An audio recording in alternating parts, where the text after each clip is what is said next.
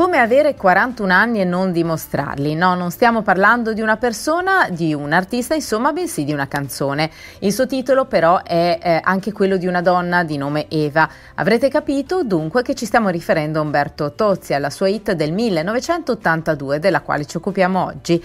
Eva è stato ed è anche un album, esattamente l'ottavo di Umberto Tozzi, pubblicato dalla CGD. Il cantautore lo aveva proposto avvalendosi nuovamente e dopo quattro anni della collaborazione collaborazione di un team di musicisti tutti italiani, tra i quali Walter Calloni alla batteria e Lucio Fabbri agli archi.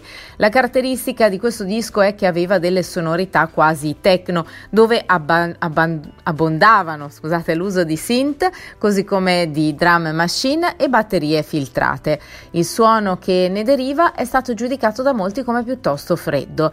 Persino la voce di Tozzi è ripulita e limpida, senza l'uso esasperato dei falsetti, come invece invece era accaduto nei tre dischi precedenti, tranne che in funzione di coro. I testi invece hanno a che fare con quella che era l'attualità del tempo, per esempio i problemi sociali come la droga nel brano Faccia d'Angelo o quelli di coppia come in Lo stare insieme e Chiuso e Pose.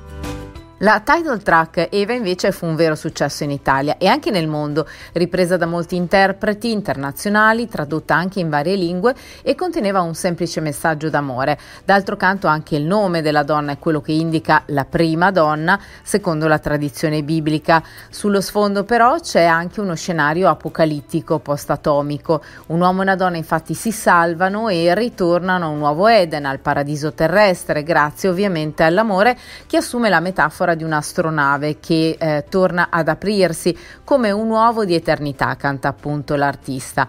Il testo è al massimo delle capacità di Giancarlo Bigazzi, con rime che entrano in testa, immagini evocative e anche il giusto tocco di romanticismo che eh, piaceva, piacque soprattutto alle ragazze, ma anche le inquietudini maschili, sempre pronte a salvare la situazione. Sempre a livello di album invece va notato che contiene esperimenti di dance elettronica degli anni 80, in particolare con i brani La testa sui binari e Himalaya, quest'ultimo sulla leggenda dello Yeti. Umberto Tozzi per questo disco scelse di fare uscire l'LP in modo del tutto defilato, insomma senza l'accompagnamento di un tour estivo italiano, tant'è che disertò anche la partecipazione al Festival Bar e a Vota la Voce.